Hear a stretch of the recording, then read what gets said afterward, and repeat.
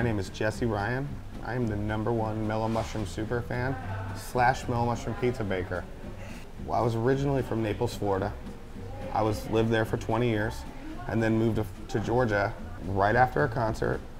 Me and my wife would go out of town, we'd go to concerts and do this kind of stuff. Like, and as soon as we'd go, I'd get the phone book out and start looking at all the pizza places and they're trying to find one that I'd never heard of or eaten at. So in Athens, Georgia, I come across one called Mellow Mushroom, which just totally made me stop and say it out loud because it was so eye-catching and different. And we had a pizza delivered, and the guy came with long hair, no shoes on, brought us our food, and uh, from that moment on, I was hooked. From the moment we opened the box, it's like I knew that I had to eat that all the time.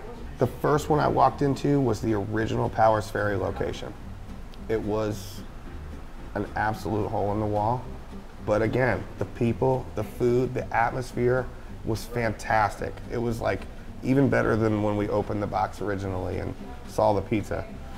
And uh, we went to that location probably 250 times before it relocated to a bigger, better building. I've been to 89 Mellow Mushrooms. I mean, with Mellow Mushroom, it becomes so different that it becomes a way of life.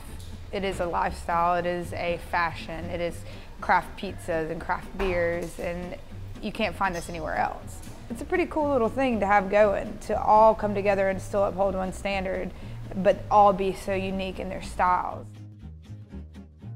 Well, it was at an opening party. I had already been to 47 Mellows, so I'd seen it and been there and done that. And uh, I was telling this guy how much I loved Mellow, and he was just sitting at the table next to me and explaining to him how many I'd been to and how each one was different and unique, but it still, you know, had good food and a good vibe. And he just happened to be the guy that was one of the founders of Mellow Mushroom.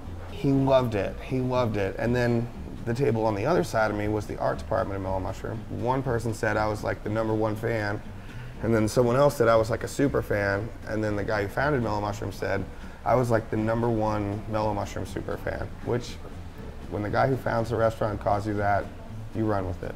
Before I worked here, I was running a small cleaning service that grew to be a pretty good amount of work, and um, it paid very, very well, but it was not fun at all. It was not pizza. I mean, he uh, had reached out, and everybody was kind of cautious. We were all really nervous about hiring him. It, it, it was a lot harder than I originally thought it was going to be but it was so much fun. I mean, it is like literally making pizzas and getting paid to do it. And I mean, there is nothing more satisfying than seeing this gorgeous pizza go out and watching people eat it and, you know, giving you the thumbs up and the okay as they're, you know, put into pizza zen.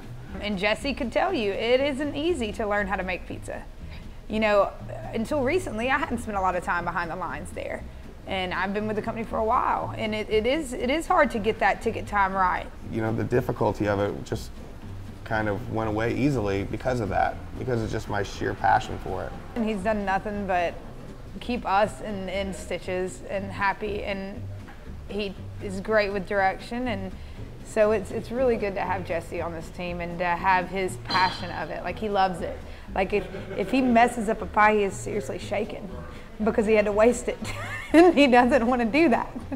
And it, and it makes me happy to see to see him happy and to see the love that he puts into his product. It's, it's a job. It's like everything now. It's, it's pretty much everything. It feeds me, pays me, clothes me. It's everything.